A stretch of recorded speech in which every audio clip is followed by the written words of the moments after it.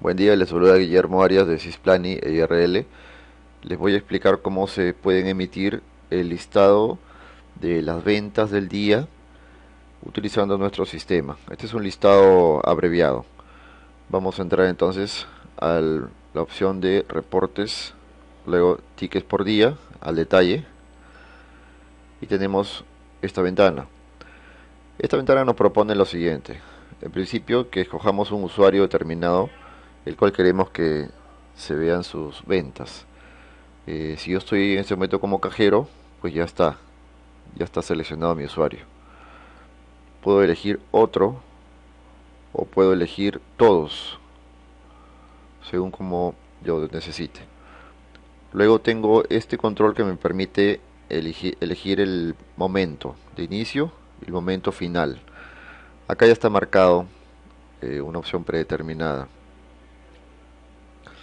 puedo cambiarlo si deseo en este caso no lo voy a cambiar y voy a hacer la consulta con este botón. Ahí está. Listo. Acá me dice que hay una cantidad de ventas y tiene una suma de 154 soles. Tenemos las opciones de reportar esta información a través de un ticket.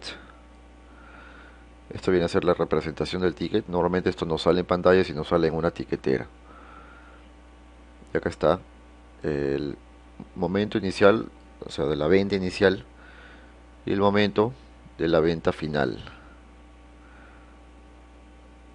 Ahora también puedo lanzar esta información a través de una hoja de cálculo de Excel, donde va a aparecer la información que ven en pantalla y un poquito más.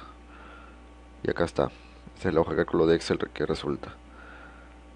Y aquí precisamente me da el momento inicial, el momento final. Como ven, coincide con lo que tenemos en el detalle de cada ticket. Y bueno, eso sería todo. Agradezco su atención.